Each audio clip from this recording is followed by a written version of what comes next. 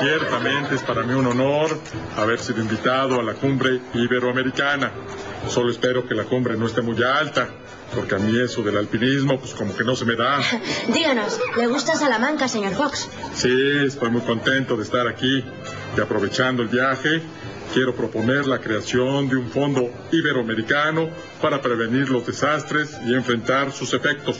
Díganos, ¿qué tipo de desastres? Pues mira, Desastres como las calumnias que les han inventado a mis hijos. no, Marta, yo hablo de desastres como los huracanes que hemos padecido en México y Centroamérica. Lo único bueno que tienen los huracanes es que aparte de desviar el cauce de los ríos, desvían la atención que había sobre mis hijos.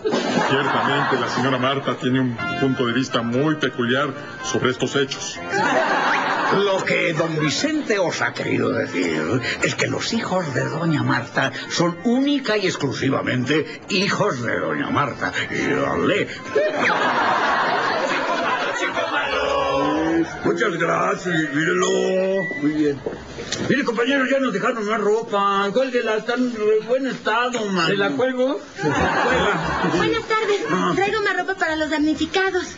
Todavía está buena. A ver, a ver, tranquilízame, se me, se me. A ver, ¿y usted qué trae? A ver. Pues yo también traigo ayuda para los damnificados del sureste. Y, lo- y todo lo que trae ayuda, a ver. Traigo 15 melones. A ver, a ver, tranquilízame, se me. ¿Cómo que 15 melones? Esto está medio sospechoso, ¿no? Ya se le parece estar el hijo de Montiel. A ver, ¿de dónde sacó 15 melones? A ver. Pues como que de dónde los compré en el mercado. Mire, aquí están. ¿Cómo que hijo de Montiel? Yo ese cuate ni lo conozco. Ay, ¿a poco no conoce a Montiel? Es el que dice que va a poner a México en marcha. Pues sí, pero pues ella marchó. De todas maneras, échenlos para acá. A ver, échenle. Ahí, pónmelos. ¿Y qué?